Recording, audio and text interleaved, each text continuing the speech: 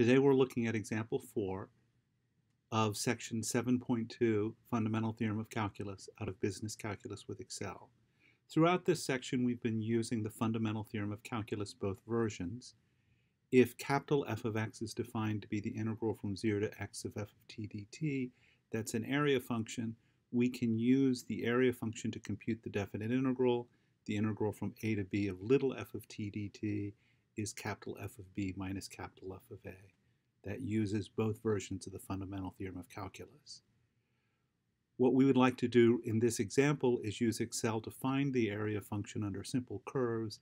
In this example, we're looking at linear functions proportions.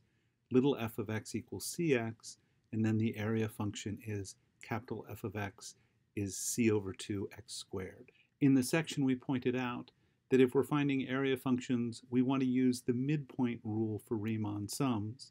The shaded, the hatched area is what I get with the midpoint rule, and the blue area is what I get with the right-hand rule. Notice that the right-hand rule clearly overestimates on this, while the midpoint rule has some above and some below, and it's pretty easy to see it'll be a more accurate version if we use the midpoint rule rather than the right-hand rule or the left-hand rule. I've set up my Excel table, and this is in the sheet that's attached to the book. So I'm looking at a low x, a high x, going from 0 to 10. I'm going to do cx. My interval width is my endpoint minus my beginning divided by 100. xn is my starting point plus n times the interval width. The midpoint, I'm going to go to the right side and subtract back a half. I evaluate my function at the midpoint. The area of the rectangle is f of that minus times the width, and the sum of the area is the area from where we started to however far we are.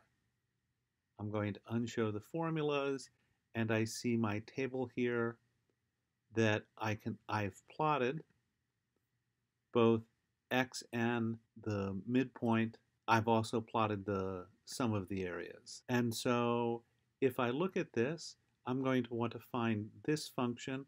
I'm going to start by undoing that and find it again with trend line. I'd like to add a trend line.